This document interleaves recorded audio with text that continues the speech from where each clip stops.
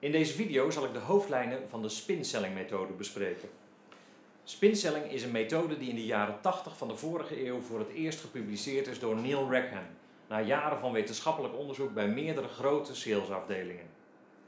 Tot op dit moment is deze methode nog steeds de kern van eh, een aantal grote organisaties in een business-to-business omgeving. Hoewel er in de literatuur meerdere modellen beschikbaar zijn om de verschillende fasen van een verkoopgesprek weer te geven, is er overeenstemming dat er in ieder geval vier afzonderlijke fasen zijn. De eerste fase is de opening.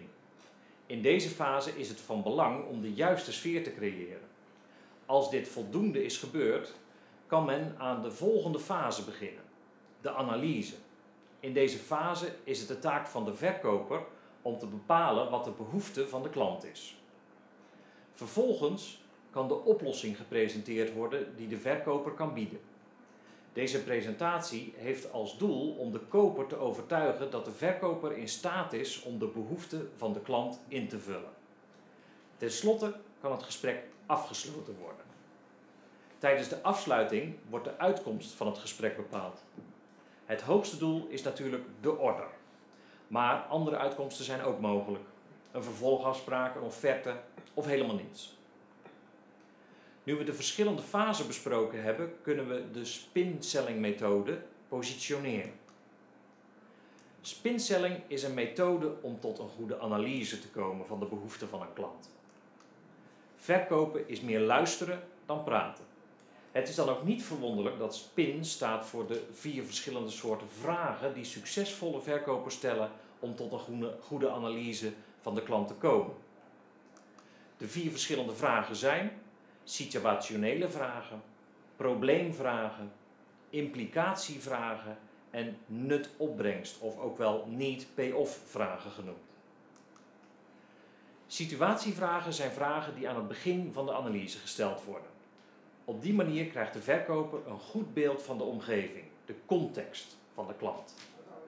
Door een goede voorbereiding kan de verkoper dit type vragen tot een minimum beperken. Voorbeelden van dit soort vragen zijn: hoeveel mensen werken er met dit systeem? Wat is uw functie? Wie levert de lunchpakketten nu? Probleemvragen worden gebruikt om te kijken welke zaken voor verbetering vatbaar zijn. Welke mogelijkheden zijn er om toegevoegde waarde te bieden bij deze klant met behulp van de kennis en de diensten en producten van de verkopende organisatie?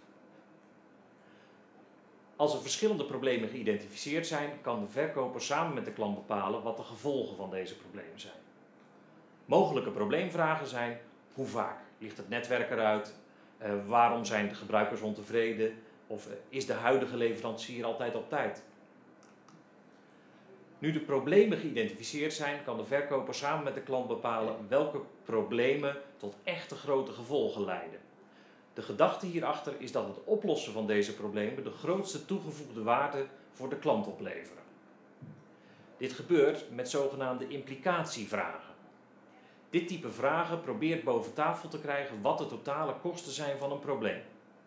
Voorbeelden van implicatievragen zijn: wat zijn de gevolgen van een probleem? Hoeveel tijd kost het om dat op te lossen? Of wat zijn de financiële consequenties? Als bekend is wat de problemen zijn en de gevolgen van die problemen zijn, is het vanzelfsprekend dat ook bepaald zou kunnen worden wat het oplevert als dat probleem weer wordt opgelost. De kosten of gederfde inkomsten als gevolg van een probleem. Toch is het goed om dit de klant zelf te laten zeggen, te laten expliciteren. De gedachte hierachter is dat het zeer belangrijk is dat een klant zelf zegt wat de waarde van een oplossing is. Dit is vele malen sterker dan het aan te horen van een verkoper. Vragen die de klant laat expliciteren wat de opbrengst van een oplossing uh, is, worden nut-opbrengstvragen genoemd. Voorbeelden zijn: wat zijn de totale opbrengsten als het probleem wordt opgelost? Of hoeveel tijd zou u dat besparen? Het stellen van situatievragen en probleemvragen levert ons zogenaamde impliciete behoeften op.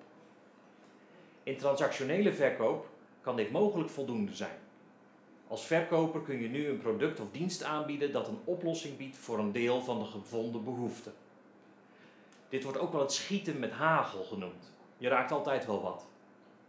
Om het scherp te kunnen schieten heb je echter expliciete behoeften nodig. Een behoefte die echt is uitgesproken door de klant. Om dit te bereiken stel je de I- en P-vragen van het spinmodel. Implicatie- en nut-opbrengstvragen.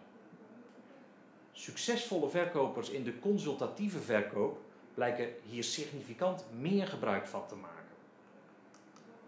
Het spinmodel is dus een model dat de invulling geeft aan de manier waarop een verkoper een analyse kan uitvoeren. Dit gebeurt aan de hand van situatievragen, probleemvragen, implicatie en nut-opbrengstvragen.